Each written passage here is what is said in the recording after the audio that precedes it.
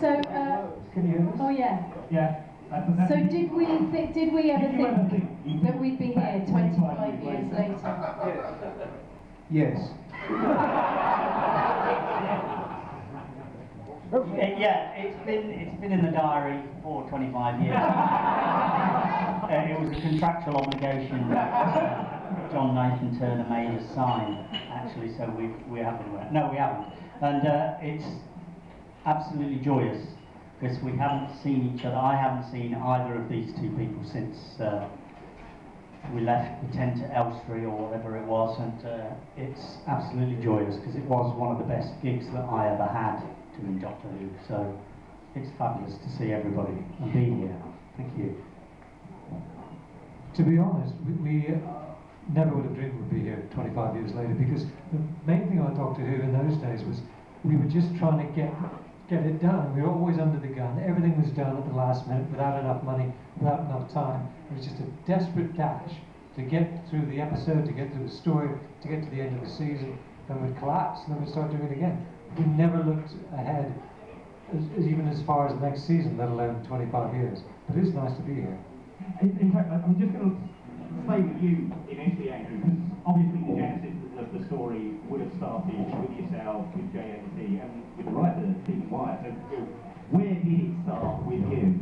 Well, the thing was, uh, we got Stephen on for Paradise Towers, and he- he'd done a really good job, and John was very happy with him. So when we were looking at the next season, the first thing he said was, let's have Stephen again, because it was somebody we could both agree about. And he said, John said, I've got this great story for you. Great title. He said, the greatest show in the galaxy. My heart just sank. What a terrible camp story title. I but you see, uh, I thought, well, you know, we, it's a title, we can work with it. And also it gave us a starting point. Instantly said that we were going to have a kind of, you know, a show or a fairground or a circus setting.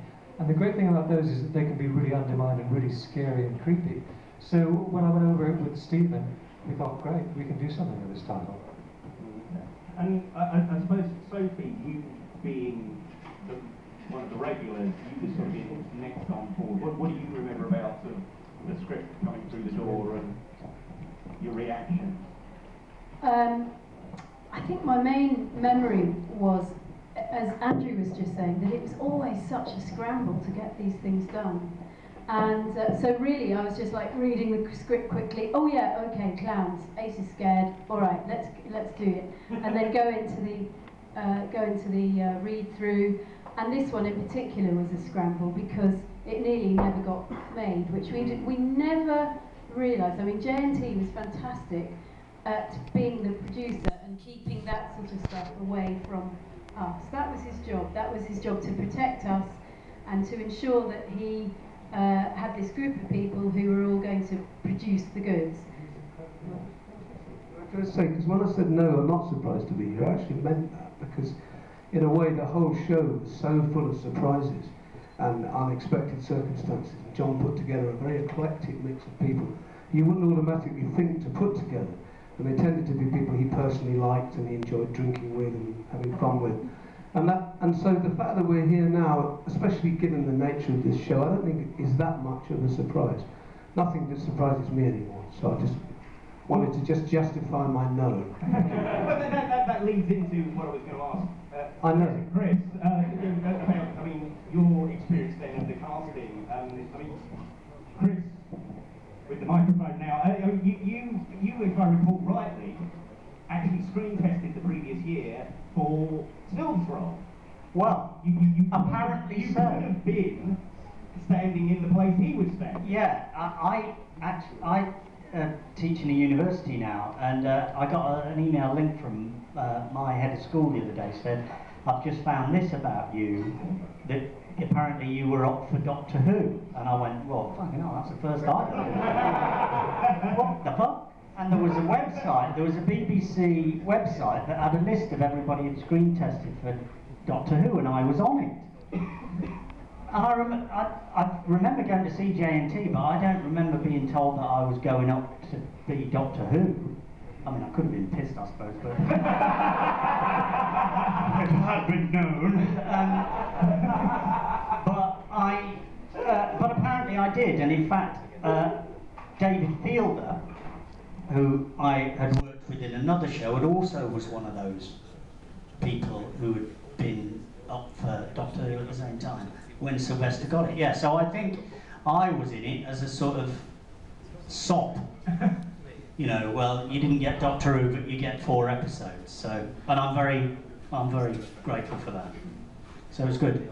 And then Christopher, you you um, so you, you sort of knew JNT anyway. You, were you one of these people that he sort of came to because you, you were part of that? Yeah, I think I've worked with him. He was an AFM and he put on a, a charity show the Drury Lane Theatre, I think. And just, he was very pushy and go ahead. He was in his 20s and he put on a show with people like Peter Toole and Richard Briers, anybody he could sort of get. I can't remember what the circumstances were, but I was in that, so I knew him from that, yeah.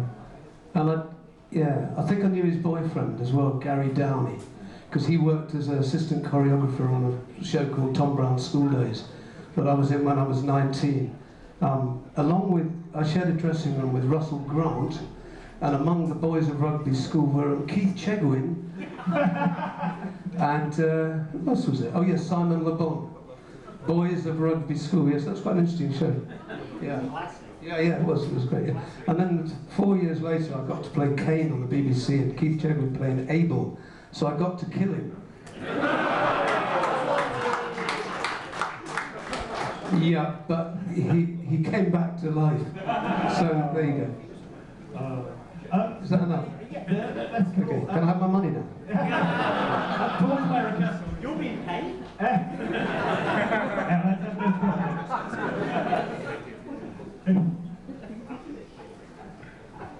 um, Doctor Who, obviously, very high profile. As I mentioned in the intro, um, tended to get, and indeed still today, gets very high profile casting.